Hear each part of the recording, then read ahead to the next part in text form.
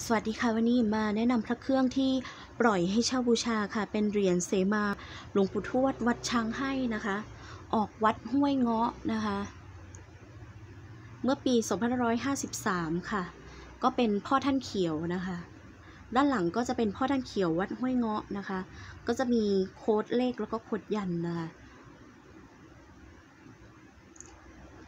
สภาพตามนี้เลยนะคะ เป็นเนื้อทองแดงนะคะ ผิวไฟ แล้วก็สภาพอาจจะตามอายุนะคะอันนี้เขาเลี่ยมมานะคะ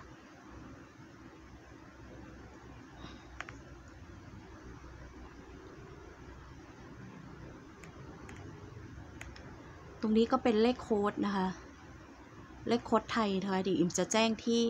ใต้คลิปอีกรอบนะคะ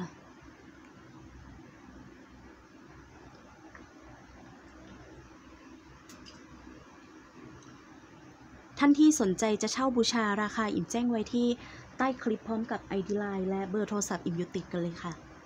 ขอบคุณทุกท่านที่ติดตามและอุดหนุนสินค้าต่างๆ ในร้านอิ่มค่ะ ขอให้ทุกท่านโชคดีมีความสุขกายสุขใจค่ะ สวัสดีค่ะ